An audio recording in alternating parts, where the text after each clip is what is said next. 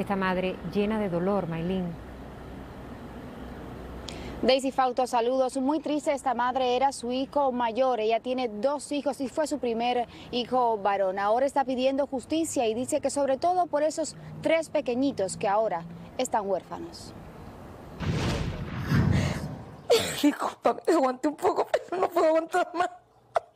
Ocho días después del asesinato del mayor de sus dos hijos, Luis Calles Cruz, encontrado muerto adentro de un vehículo en Homestead, su madre, Marlene Cruz, rompe el silencio. Y lo único que pido es que sigan investigando, que sigan buscando, que si hay alguien que sabe algo, que por favor, por mí, por los nenes, para que se haga justicia para esos nenes, para el día de mañana tengan justicia. Conteniendo sus lágrimas e intentando superar su profundo dolor, Marlene, quien prefiere ocultar su rostro pero no su identidad, nos contó lo que hasta ahora han revelado los detectives del caso.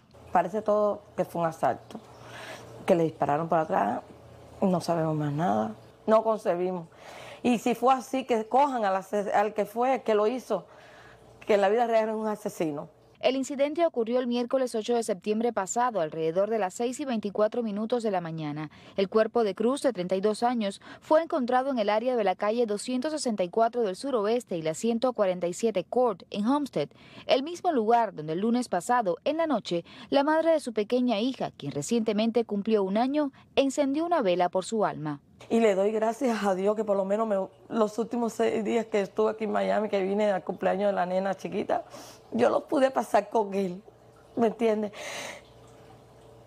Fue como una despedida, pero lo pude pasar con él. Luis Calles, de origen cubano, deja a tres hijos, dos de un año y uno de seis, quien recientemente recibió la noticia de la muerte de su padre. Es muy difícil lidiar con la pérdida de un hijo, es lo más grande que hay en la vida. Tengo que poner fuerzas por mis nietos, por mi familia, por mí y por él que está en el cielo cuidándonos en estos momentos.